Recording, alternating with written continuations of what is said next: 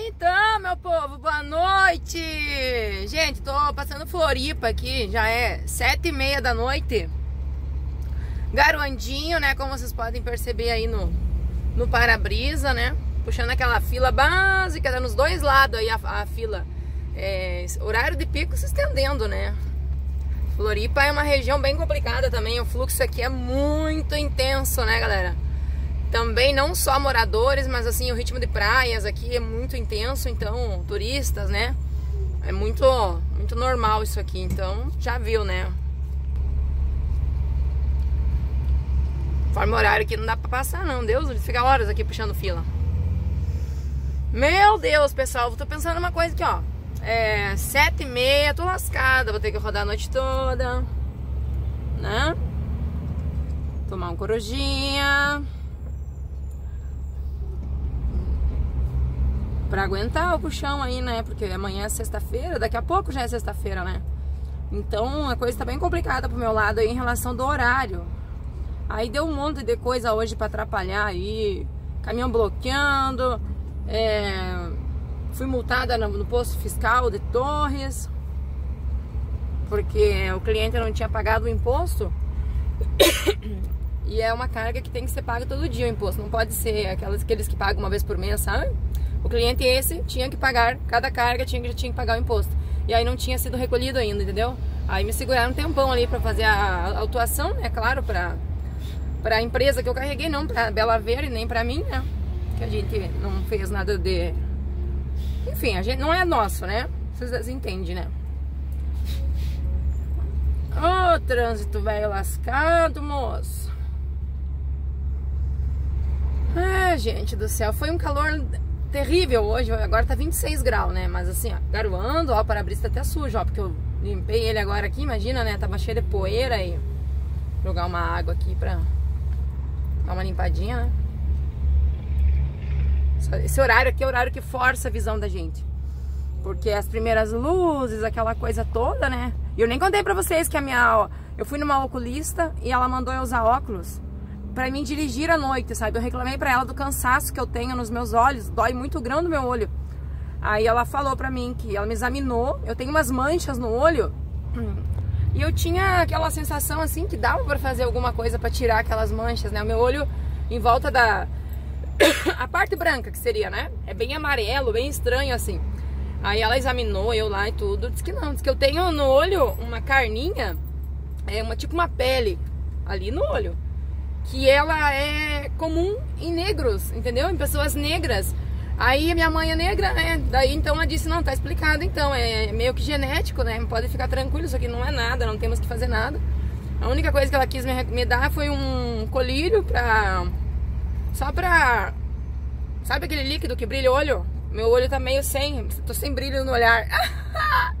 Falei isso não, motorista, mas é verdade. Aí ela me deu esse colírio pra usar até três vezes por dia. Usei ontem só e nunca mais usei. Ai, não tem hábito, não adianta, né? Eu não tenho paciência de ficar fazendo as coisas certinho. Não tenho. Sou muito desregrada em tudo na minha vida. E. Ai, gente do céu. Tá garoando, para Deus que ele pra frente não esteja chovendo, né? E o peso aí vai sendo praticamente 30 toneladas, né? Ainda temos mais um desafio pela frente ali, aquela balança carnicinha ali do do ali pertinho do Garuva, ali na divisa, né? Chegando no fiscal, 5 quilômetros para chegar no posto fiscal aqui, que faz divisa Santa Catarina com Paraná.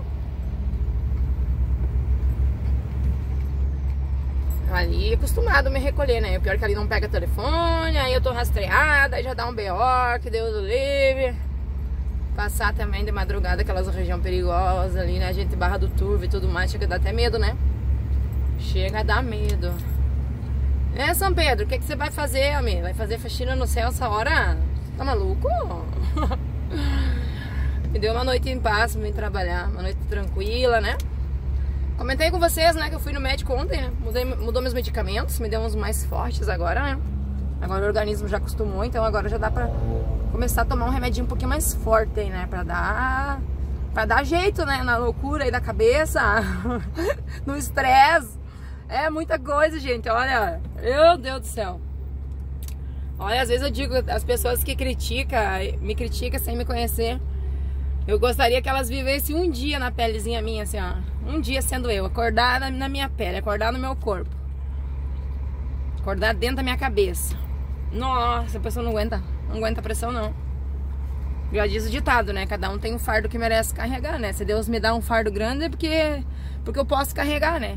Tem horas que a gente dá uma surtada, assim, né? Gente, eu, eu, meu problema, galera, além de trabalhar demais, é a preocupação, né? Preocupação com o filho, né? Medo, é, preocupação também com o futuro deles, né? Que eu contei pra vocês, né? Que a Gabi vai fazer medicina, né? É, decidimos. Eu sugeri pra ela, que eu acho que tem mais futuro, né? É um investimento alto, mas que vai dar muito retorno, né? e ela ficou doida, né? Na, na, possibilidade, ela tinha ela nunca pensou, porque afinal de contas é uma faculdade minha cara, né? Daí esse ano aqui ela vai se preparar, vai fazer cursinhos, né? Daí esse ano aqui já dá certo lá a moradia, lá em Erechim, né? Pra mim ficar quando eu tô lá com o Bernardo, ela já mora lá, fazer faculdade lá naquela tal de Uri, né? E vai que também ela se prepare melhor esse ano e passe e ganhe uma bolsa, né, gente? Aí é de bom demais. Nossa senhora. Mas não adianta contar com ovo no cu da galinha, como diz aquele, né? Hoje em dia essa piazada aí não tá muito estudiosa não, cara. Diz que ela é dedicada. E ela fez essas provas, ela achou bem difícil. E é difícil, né? Tem que ser mesmo, né? Afinal de contas são vagas muito concorridas, né? E para quem que, que, seja dada para quem merece, né? Para quem merece, para quem realmente precisa, né? E não essas coisas que nem andou as denúncias esse tempo aí de de estarem gente sendo beneficiada assim por esquema, por pagamento, né? Esse tipo de coisa é muito triste, né? Vindo na, no nosso Brasil, um Brasil uma, que nós temos condição de o governo, né? Oferece cotas para quem precisa. E aí vai aqueles que não precisa lá por puro esquema e e tira o lugar de um pobre, de uma pessoa que sonha de verdade, né? E que não tem condição de pagar. Então, devia ser as coisas bem justas e limpas, né, galera? E bem limpas aí. Ai, ai, então vamos lá, né, bichão? Já rodamos aí 774 km, né? Fiz o carregamento no Caxias, troca de nota no Montenegro, lá no Rio Grande, e aí que liga vai ser no São Paulo, tá bom? Vamos rodar na noite, pedir proteção divina a Deus. Companhia dele do ladinho. E logo ali estamos chegando, se Deus quiser. E Ele quer, com toda certeza. Beijo no coração, amores. Obrigado a todo mundo que rezou pra Gabi aí. Ela tá tão bem que tava brigando comigo hoje, querendo o carro. Danadinha, agora ela tá que não pode nem respirar, né? Agora ela fez merda, agora ela sabe. Tá bom, amores? Boa noite, abraço, Deus abençoe, proteção divina. Deixa o like aí, não esquece.